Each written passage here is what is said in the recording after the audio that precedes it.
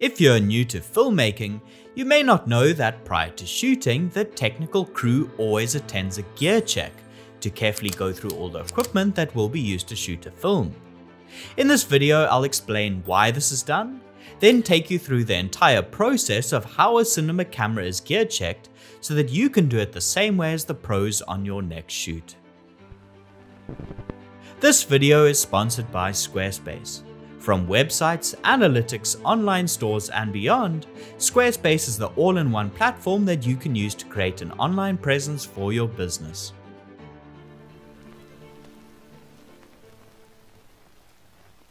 While smaller corporate, documentary, or solo shooter jobs may be done by cinematographers who own, rent, and operate their own gear, most industry level jobs are shot with high end equipment which is rented from gear houses. For commercials or short form content, crew is usually booked and paid for a half day to do a gear check at the rental house a day prior to shooting. While long form crew on features or series may be booked to do a few days or even a week long gear check that requires a greater degree of technical prep. There are three main reasons why industry productions do gear checks. The first and most important reason for a gear check is to ensure that all the equipment that is being rented is in proper working order and that the crew has all the necessary bits and pieces to make the gear package work. For example, you never want to just grab the gear the night before a shoot, only to find out as you're setting up to do the sunrise shot that you're missing a cable that you need to power the focus motor. I've even seen, with my own eyes, an extra Alexa Mini LF that wasn't gear checked brought straight onto a job, only to find out that it was missing a sliding dovetail plate and couldn't be rigged onto a car mount to do a sunrise driving shot. The second reason to perform a gear check is to prevent accepting faulty or broken gear from the rental house. It's much easier to immediately flag an issue with gear as you are testing it than to report faulty gear to the rental house on set and then go through the blame game of when exactly the gear broke and who is responsible for fixing or replacing it. The final reason is a bit of a rarity, but occasionally in the event of an insurance claim related to faulty equipment, such as dead pixels on the sensor that spoil the footage, or problems from a film stock, the camera tests that were shot during the gear check may be reviewed by the insurance company or assessor.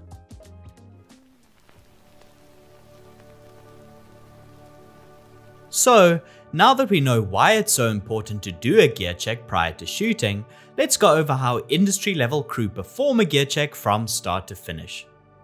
The easiest way to make sure that a cinema camera is working properly and that all the necessary accessories are there is to build the camera into the same configuration that it will be built into on set.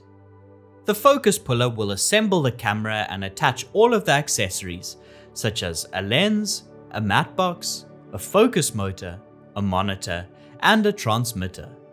They will build the camera into a neat form factor and make sure that all of the necessary accessories are getting power and are functioning properly.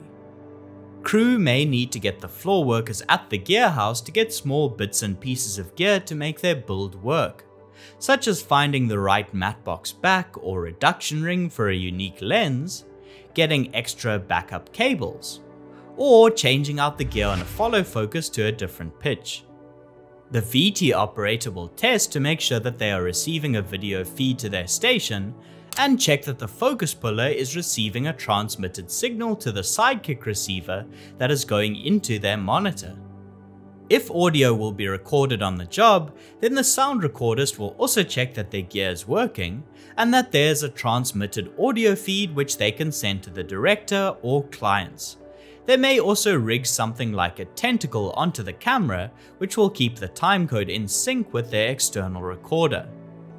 Over in another section of the gearhouse, the grips and electrical department will make sure their equipment is also in working order, using the same idea of setting up, powering, and testing the gear. Before we get further into the technical process of the gear check, let's take a break to thank Squarespace for sponsoring this video. Being a filmmaker means that you are your own business, And every business needs a website so that clients and collaborators can get in touch with you. Squarespace is an all-in-one platform that you can use to design a stylish website using their templates. This makes it easy to control how you want your site to look. Squarespace has lots of useful tools for creators, such as being able to set up your own online store or display a portfolio of your images or videos using galleries, which is a must for any filmmaker nowadays. So to set up your website, be sure to head to squarespace.com for a free trial and when you're ready to launch, go to squarespace.com slash indepthcine to save 10% of your first purchase of a website or domain.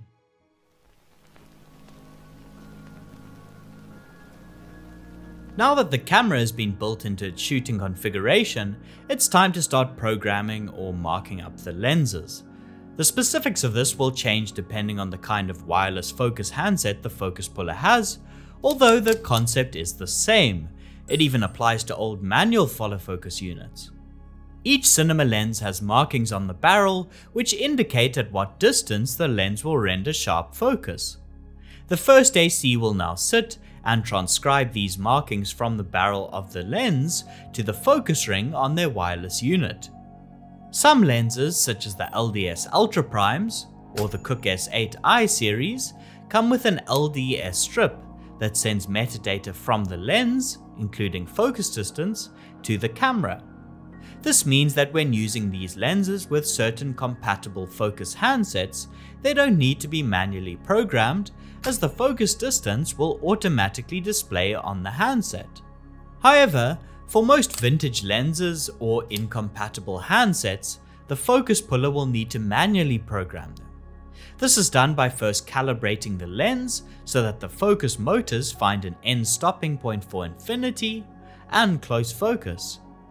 The focus puller will then systematically align each distance marking with the center indicator mark.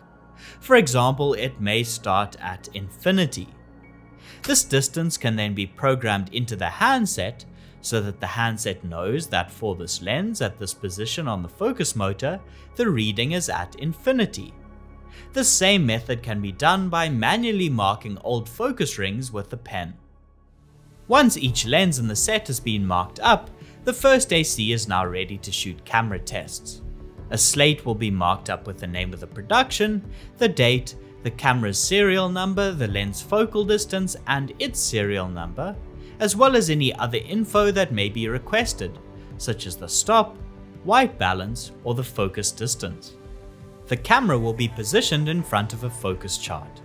The first will measure the distance between the chart and the film plane of the camera, and set the distance marking on the lens to that same measurement.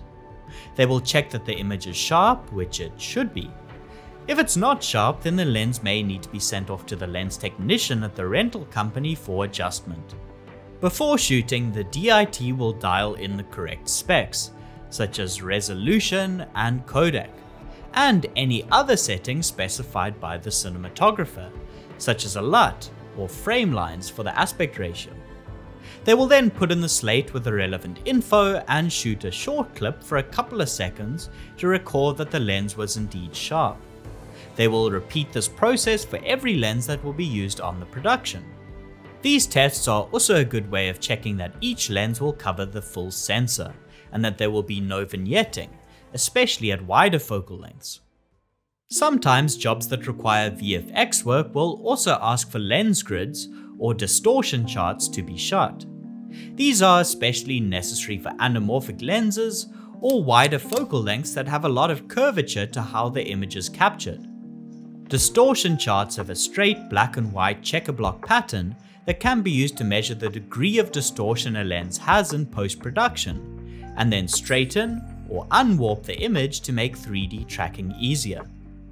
When shooting these tests, it's important to line up the camera to the center of the chart and make sure that the chart is straight on all axes. Like with the focus tests, a front slate should be used to denote which lens is being shot, as even the same brand and focal length lens in a different set may have minor differences in distortion. Once all the tests have been shot, The card can be handed over to the DIT, who will copy over the footage onto the prepared hard drives and examine the integrity of the tests to make sure that there aren't any issues. If there are specialized rigs on the job like a Steadicam, gimbal, or remote head, then the camera needs to be built and tested for these setups. It's important to ensure that the camera will be able to balance on these rigs. This might involve stripping the camera into a smaller form factor. While all of this is going on, the second AC will usually be working on labeling gear and organizing it into cases. They will apply long strips of colored gaffer tape onto the outside of the lens box and use a permanent marker to write down each focal length inside the box, its stop, and its minimum focus distance. This makes it easy to identify the lenses you have and give quick information on the stop and MOD to the focus puller or cinematographer.